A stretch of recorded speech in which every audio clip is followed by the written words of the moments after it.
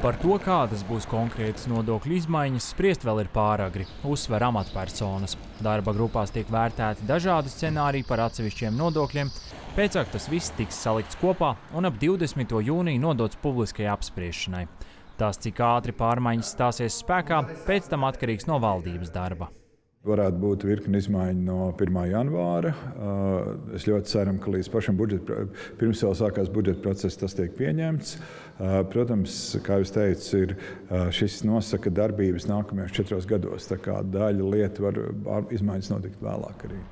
Pat labi uz galda vēl ir dažādi scenāriji. Tas nozīmē, ka atsevišķus nodokļus var gan pazemināt, gan paaugstināt. Politiķiem būs jāmēģina šajā ziņā panākt balanci starp dažādām vajadzībām.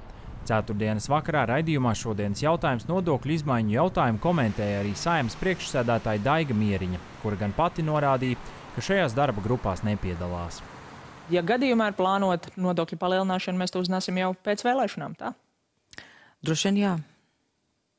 Ja būs plānota nodokļu palielināšana, tad droši vien pēc vēlēšanām. Tas ir korekti pret sabiedrību kas vērtē politiķu darbu. Protams, Eiropas parlaments ir kaut kas cits, bet. Protams, mums visiem gribētos, eh, lai tas viss būtu daudz ātrāk. Protams, es neapšaubām, tas tā ir, bet, nu, Finanšu ministrija strādā tik ātri, cik var. Acīm redzot, tiem priekšlikumiem vajadzīgs ir ilgāks laiks. Nu, tā ir viņa atbildība. Finanšu ministrs Ašarādens sasaisti starp vēlēšanu datumu un plāna izziņošanu nesaredz. Nodokļu darba grupās piedalās ne tikai politiķi un ierēģi, bet arī valdības sociālie partneri. Parasti ir tāda zināma, zināma pauze, nu, lai, ar, ar domu tādu, lai, nu, lai, lai, lai šīs tēmas nevarētu izmantot tādā nu, priekšvēlēšanu tematikā.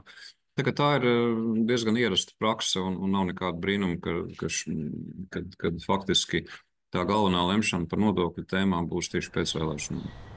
Finanšu ministrija par atsevišķu nodokļu potenciālajām izmaiņām ziņojusi iepriekš.